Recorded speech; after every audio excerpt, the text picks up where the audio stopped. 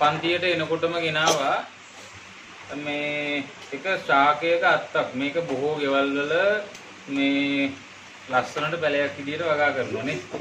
අත උස්සන්න මේක මේන් පැලයක් gedara දින අය. හරි. දැන් බැලූ බැලමට 175කක වගේ ප්‍රමාණයක මේක තියෙනවා.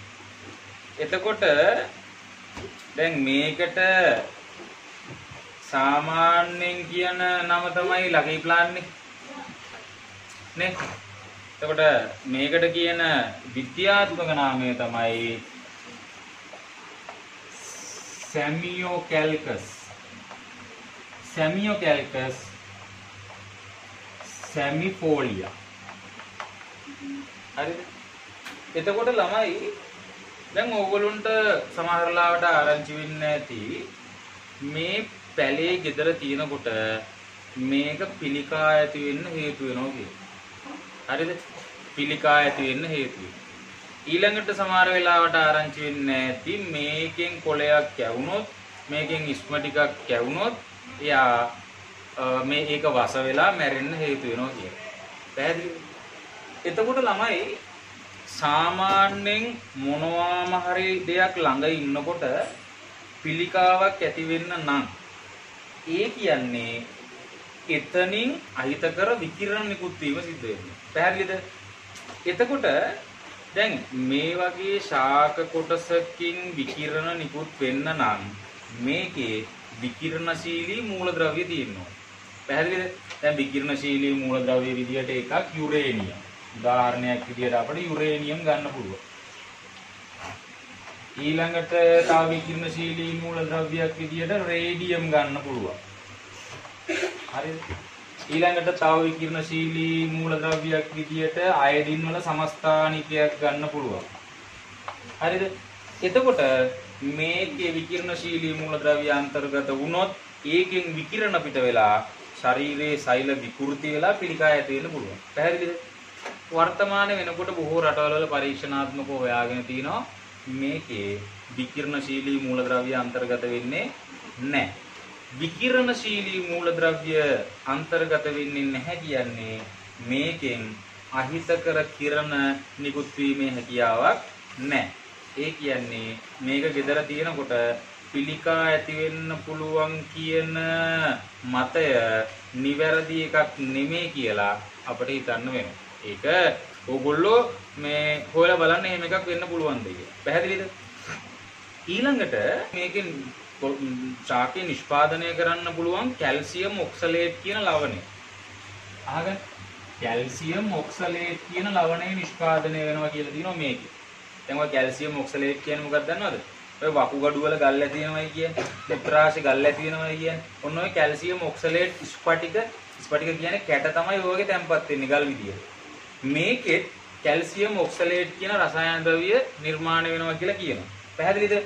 මේ කැල්සියම් ඔක්සලේට් කියන රසායන ද්‍රව්‍ය මගින් සම මත තැර වුණාම ඊළඟට ආහාර ජීර්ණ පද්ධතියට ඇතුල් වුණාම ශ්වසන පද්ධතියට ඇතුල් වුණාම උද්දීපනයක් ඇති කරන්න පුළුවන් කියලා කියනවා. උද්දීපනයක් කියන්නේ මොකක්ද දන්නවද? නිකන් දැවිල්ලක් ඊළඟට කැසීමක් ඊළඟට වේදනාවක් ඇති කරන්න පුළුවන් කියලා කියනවා. එතකොට හදිසියවත් මේ කොලයක් පොඩි ළමයෙක් කෑවොත් නැත්නම් ලොකු ළමයෙක් කෑවොත් ඊළඟට මේකේ ඉස්ම ටිකක් පෙවුනොත් මොකද වෙන්නේ? ආහාර ජීර්ණ පද්ධතියට මේක ඇතුල් වෙලා මොකද වෙන්නේ? අර උද්දීපනය ඇති කරනවා. ඇති කරනකොට ඒ පුද්ගලයාට වමන යන්න පුළුවන් නැත්නම් බඩ බුරුල්ලට යන්න පුළුවන්. පැහැදිලිද මේ කියන එක? දැන් හිතන්න ළමයි මේක ලෝකෙ දියුණුවම රටවල් ෆෙන්ෂුයි කලාවේ අංගයක් විදිහට පාවිච්චි කරනවා. දැන් උදාහරණයක් විදිහට මේක චීනෙන් ආපු එක ගන්න. මේ ලකි ප්ලාන්ට් කියන්නේ වාසනාව පැලේ කියන එකනේ. ඒකේ වාසනාව වාසනාව මන් දන්නේ නැහැ. මේකට කියනවා ලකි ප්ලාන්ට් කියලා. පැහැදිලිද?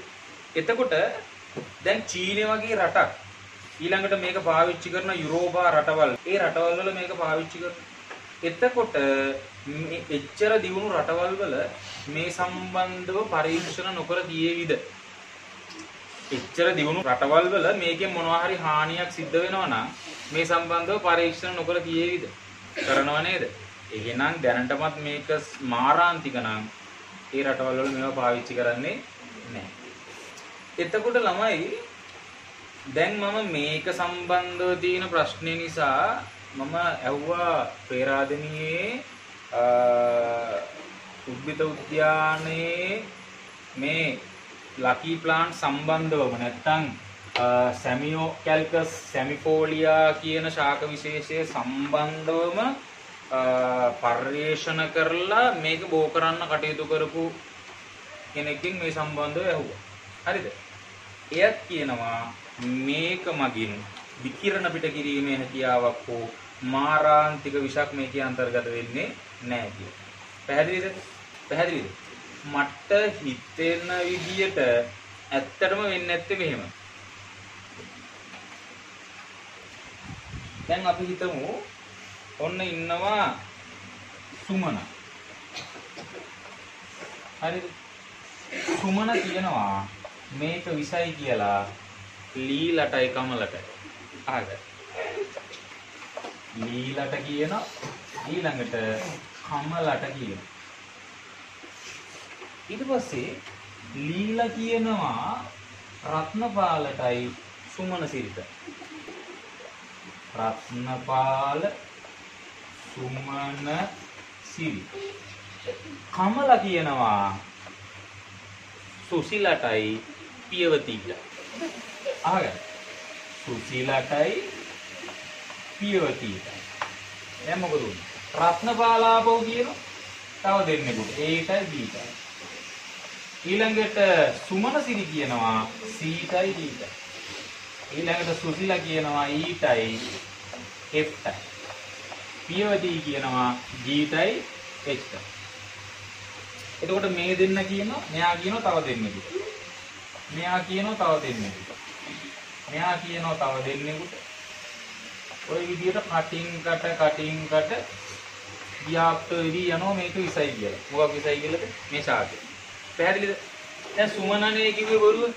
සුමන කියපු බොරුව මොකද වෙන්නේ? දැන් කී දෙනෙක් දන්නවද බල? 1 2 3 4 5 6 7 8 9 10 11 12 13 14 15 16 දෙනෙක් දන්නවා. ඒ 16 දෙනා තව දෙන්නෙකුට බෙන් කියනවා. ඒකට 32ක් ගන්නවා. 16 දෙකක් 32යි. තව කියනවා 64යි. ওই විදිහට මුළු ලංකාව පුරාම මේ කියපු කතාව ව්‍යාප්ත වෙලා යනවා. පැහැදිලිද මම මේ කියන එක? ඇත්තක් වුණත් බොරුවක් වුණත් ඒක ව්‍යාප්ත වෙලා යන වැඩි කාලයක් ගත වෙන්නේ නැහැ. හැබැයි අපි මතක තියාගන්න ඕනේ අපි කන පලා වර්ග තියෙනවනේ.